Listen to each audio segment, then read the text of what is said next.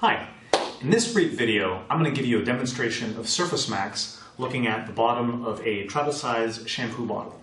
And prepare to be wowed, this is pretty amazing what Surface Max is going to do here. So this is a, a, small shampoo bottle, it has some printed text on the underside, it has a lot code and uh, a date, but there's also, you can barely uh, see this with your eye, you can feel it with your finger, there's some raised graphics and lettering on the underside.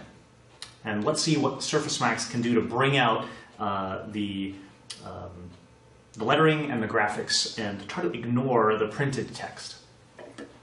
So I have my setup here uh, with the Surface Max um, light, my camera, everything's been mounted and wired, and I'm just going to put my sample underneath the camera. I have a live image right now, position this in about the center of my field of view.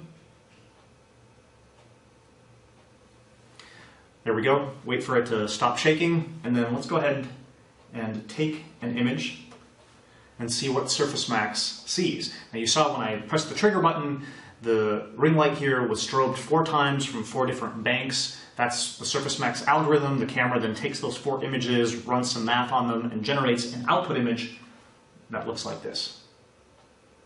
Pretty amazing how the black text is completely ignored and the raised features pop out with high contrast, allowing us to check the graphics, the, the text here, and then we can also see what the original image looks like as well. So pretty amazing what Surface Max can do. Again, with your eyes, you can barely tell that those raised uh, features are there, but Surface Max pulls them out no problem.